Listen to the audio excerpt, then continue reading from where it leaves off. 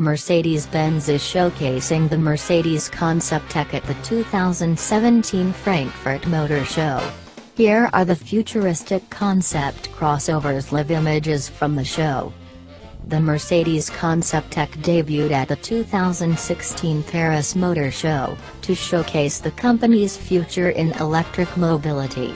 The coupe SUV marked the launch of an architecture for battery electric vehicles across all models. The modular architecture's wheelbase and track width as well as other system components, including the batteries, are variable.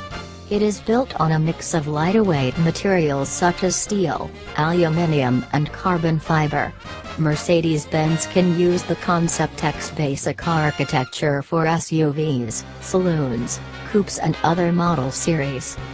The Mercedes Concept EQ has two electric motors for the front and rear axles. These motors get their juice from a battery placed deep in the vehicle floor between the axles. They produce 300 kilowatts, 402.14 horsepower, and 700 newton meters of torque together. There's an electrical wheel drive system with axle variable torque distribution to offer dynamic performance in demanding conditions.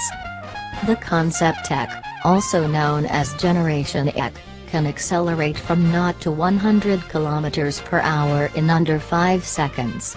It has a driving range of up to 500 km.